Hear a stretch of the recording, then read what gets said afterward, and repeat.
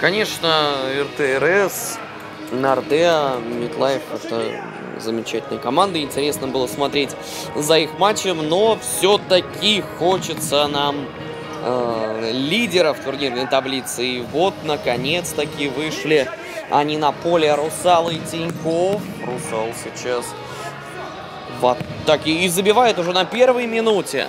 Вот как раз то, чего нам не хватало. Результативных действий, реализации, грамотного расположения на поле. Сергей Макеев выводит Русал вперед. Если кто не понял, Русал в форме серого цвета. Играет в этом сезоне, они обновили форму, но результаты остаются такими же замечательными, как в сезонах прошлых. Плотность в первом дивизионе борьбы очень высокая. У нас там играют Русал, Комус, Тиньков, МТС Банк и Московский кредитный банк. И все пять команд претендуют на первое место. Лидером, конечно, является Русал. С первого тура они на первое место вскочили, и никто их ни разу не потеснил с этой позиции.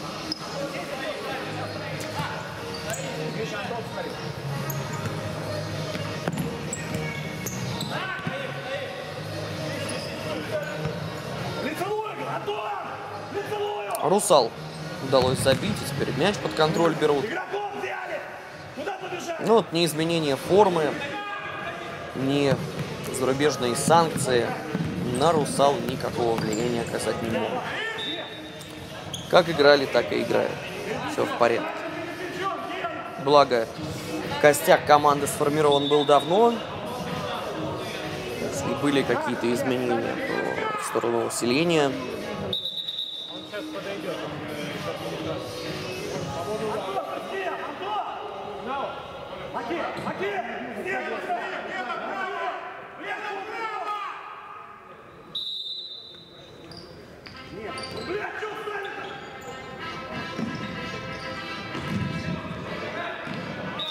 Тиньков с Русалом в этом сезоне проводят первую встречу.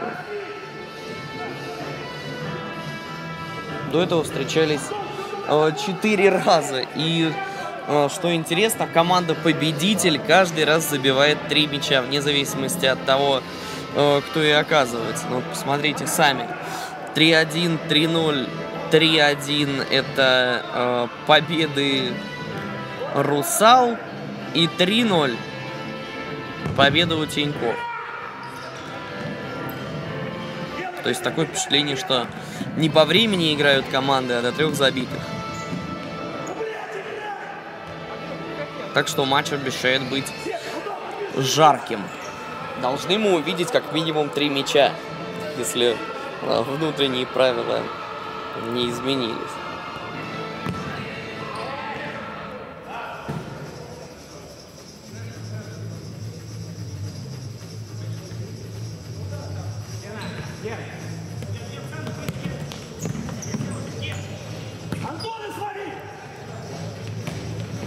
Сал с мячом почти не расстается. Сейчас хороший зрячий пас был в район шестиметровый. Контратакует Тиньков.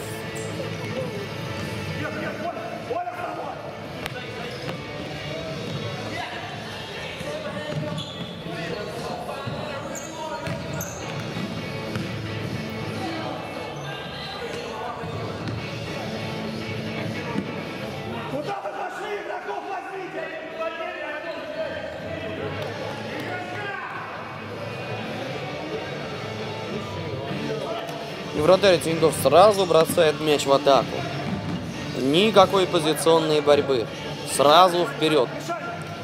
Вперед и только вперед.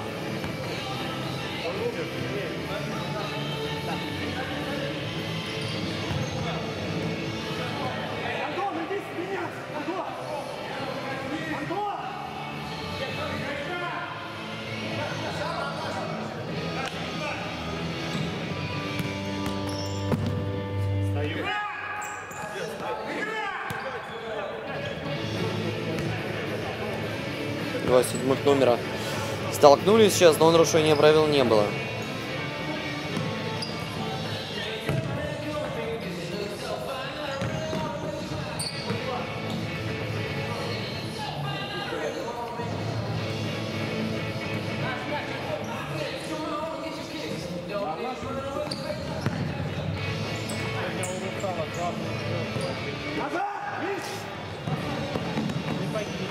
Тиньков в этом матче показывает, что будет играть на контратаке.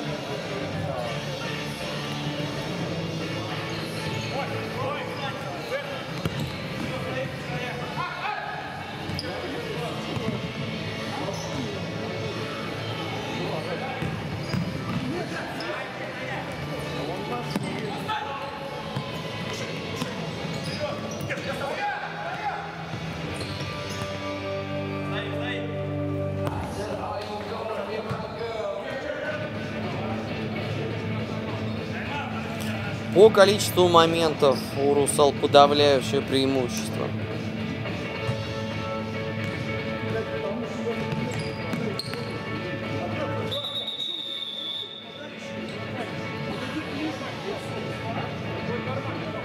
И тайм-аут берет Тиньков.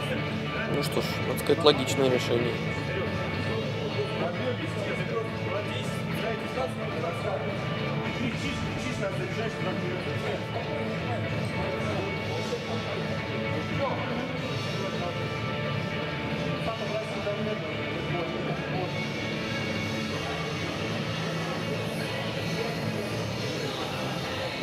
Что там, минута, судья?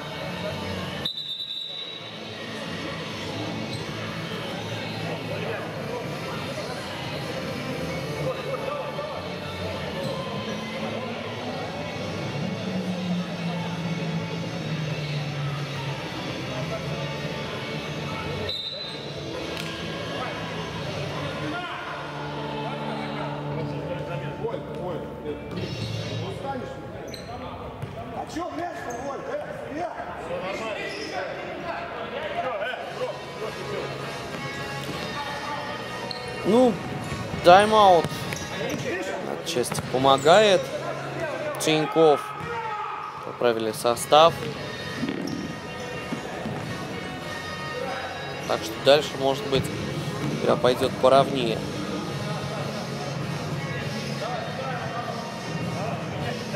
То уж совсем первые минуты этого дерби нас разочаровали.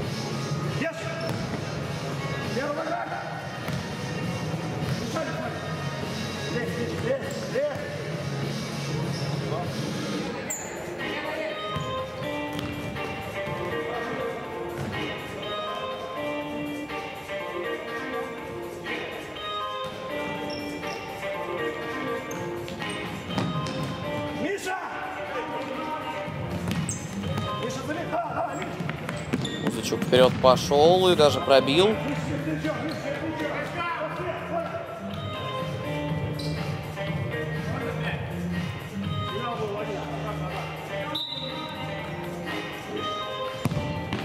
Еще один резкий удар.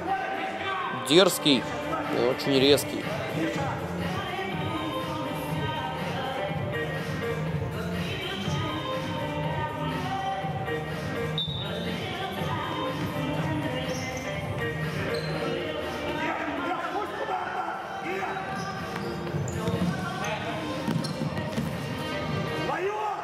Если Русал сейчас забьет, то второй тайм уже формальностью буквально станет. Ну что ж, э,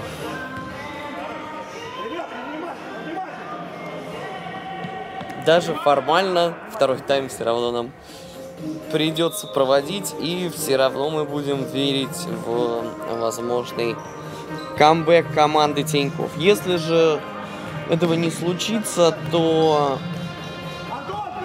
Тогда Тиньков попробует э, набрать очки в противостоянии с Метлайфом и банком МТС.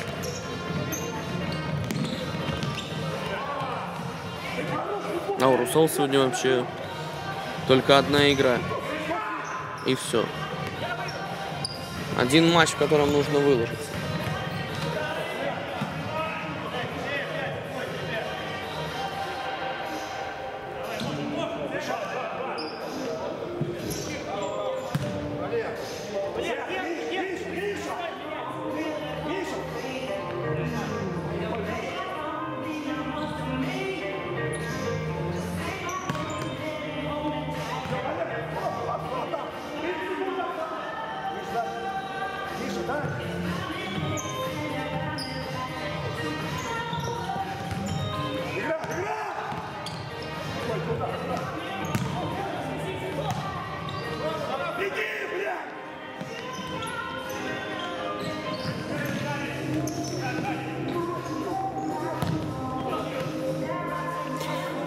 До того, как э, камера повернулась в сторону ворот э, Русал, можно было подумать, что Русал играет без вратаря, иначе зачем было удар такой наносить.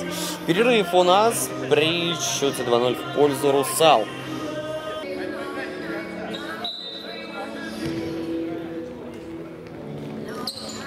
Второй тайм. Тиньков может попробовать опровергнуть мое утверждение, что при преимуществе Русал в два мяча второй тайм становится формальностью.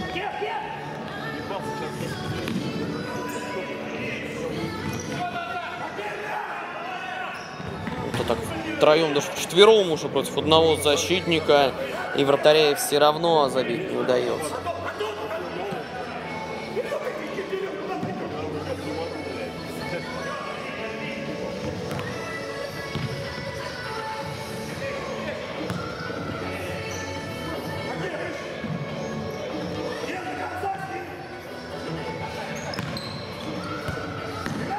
Изящный пас пяткой, точный, кстати.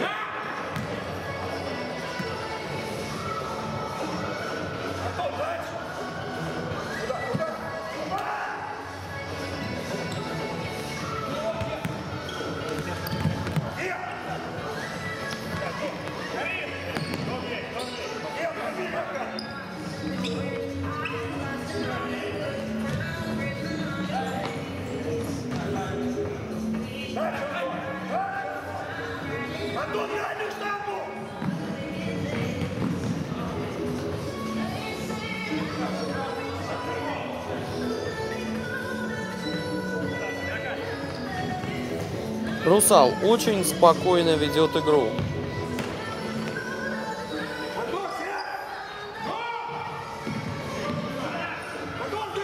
Он в противостоянии э, Русал и Тиньков. Русал всегда берет своим опытом. Опытом и умением. Только в одном матче Тиньков одержал победу. Ну тогда Русал непонятно по каким причинам рассыпался. Ну и Тиньков тогда, конечно, выкладывался, как будто последний это матч в их истории. В поединке молодости и опыта чаще берет верх опыт.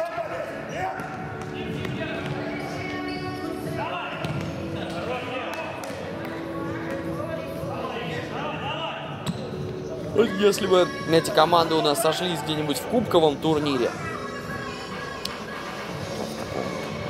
формате одно-двухдневного кубка, встреча их случилась где-нибудь в четверть, в полуфинале, вот там наверняка больше было бы шансов у Тиньков за счет запаса сил.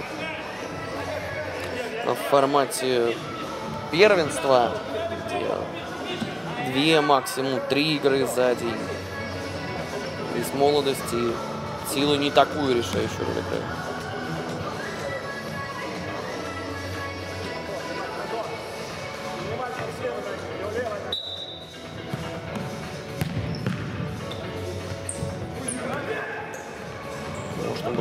Сразу, но решили разыгрывать.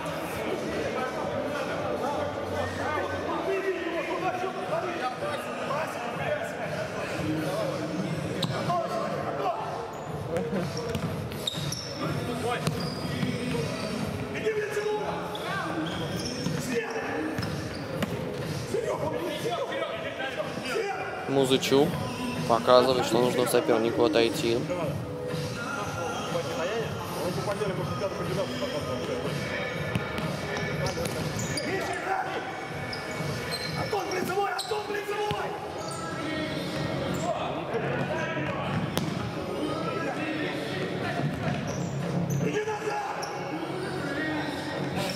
Русал, как только мяч у соперника, сразу они блокируют все зоны. Тиньков просто и вариантов нет для развития атаки.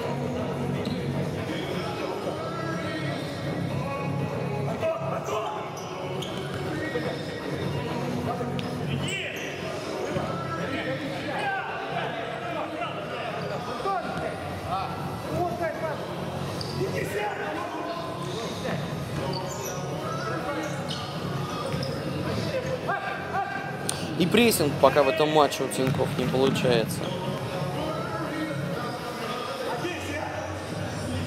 Вроде и правильно идут, и сразу по нескольку человек, но Русал, ну за счет движения, наверное, выигрывает.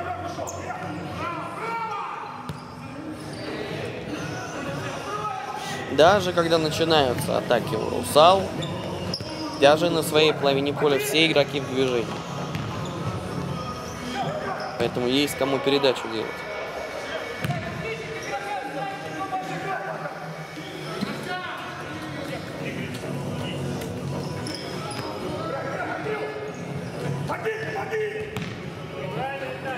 И Деньков остается только бить издали.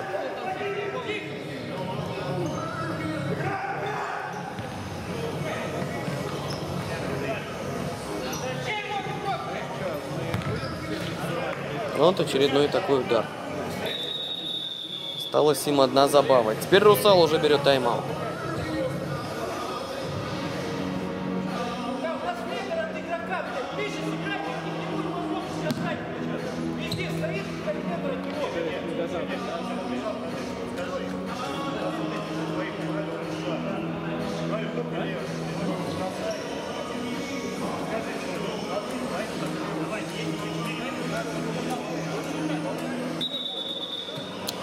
Нужно продолжать.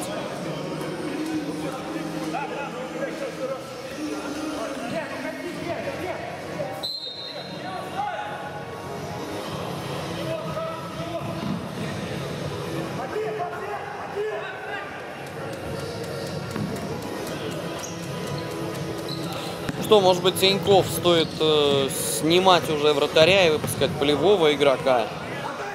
Потому что рисковать надо.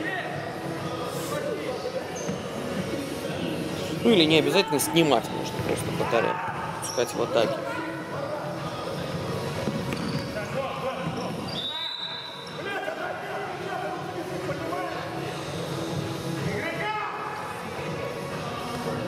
Разницы ведь особо и нет, с каким счетом проигрывать.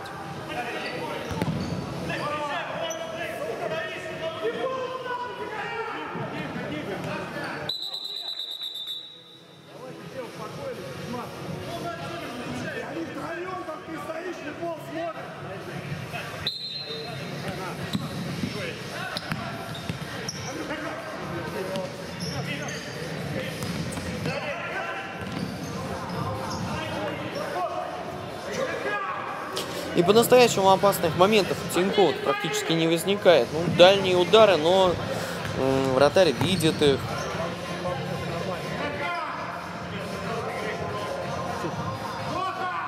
Особой опасности они не представляют. Не было даже удара, когда вратарю прям тянуться нужно было до мяча.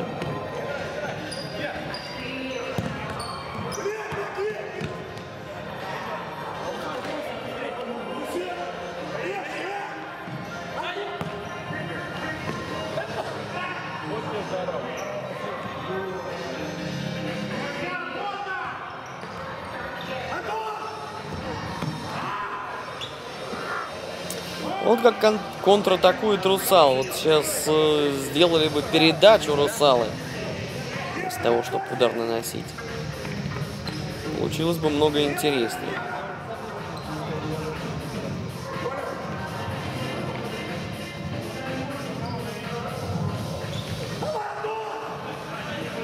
Ну что, неужели в этом матче все решилось уже в первом тайме? Неужели все самое интересное позади?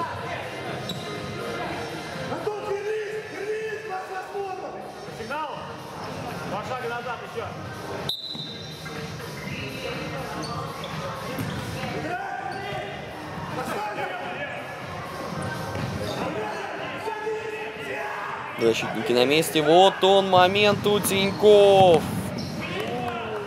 Просто не везет. Вот сейчас бы вернули интригу. Желтые.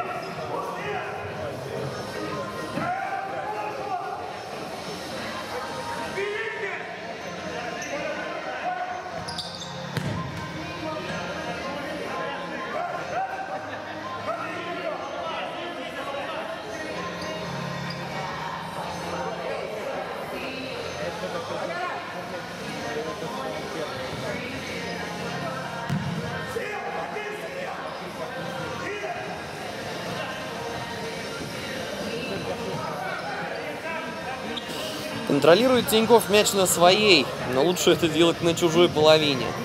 Как-то заканчивать хотя бы с моментами. Что-то у Тиньков сегодня атаки не ладятся. Не доразмялись, не проснулись еще как следует.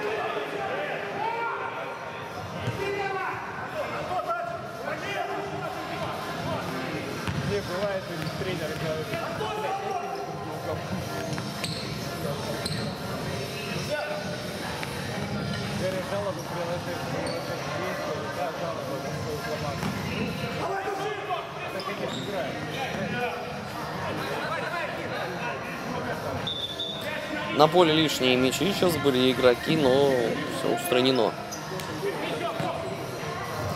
Такая вывеска на этот матч. Тиньков, Русалам. Встреча получилась далеко не такой интересной, как планировалось. Может быть, даже бодрее РТР с Нордея играли. До последнего бились.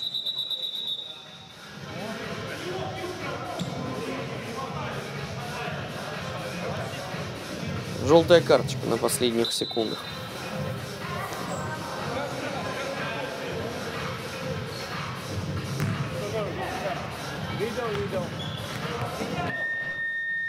Все, финальный свисток.